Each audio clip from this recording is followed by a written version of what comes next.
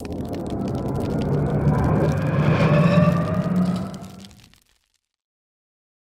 everybody. It's Buzz. I just got done watching the FC Dallas game. So here's your instant reaction three things FC Dallas versus Portland Timbers. Number one man of the match. I mean, honestly, who else is it going to be? Jesus Ferreira with the hat trick. Uh, we told you on the podcast we weren't worried about him yet. Uh, both the eye test and the metrics were telling us he was getting good position. So it was only going to be a matter of time. You could hope against a team missing two center backs, and all of a sudden everybody feels great. So that probably was enough to get Jesus going. I, I wasn't worried before. I'm still not going to be worried going forward that he's going to be good this season. All right, number two, uh, one of the hardest things to do as a goalkeeper is be mentally active and in it when you're not getting a lot of action. And this game, we saw the first time that Maarten Paes got tested big time, and he came up one really, really good save and one exceptional save of the three saves he made. He only four shots on target.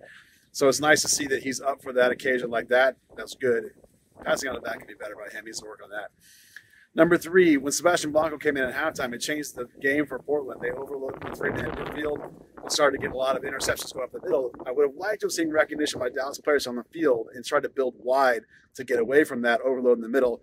Eventually, they went 4 4 2, which is a coaching recognition, and it changed. So they solved it. But the players on the field need to spot that and figure out that they can't go through the middle with that extra guy in there. All right, that's instant reaction. Three things: FC Dallas versus Portland Timbers. Hope you enjoyed that. We'll talk again soon.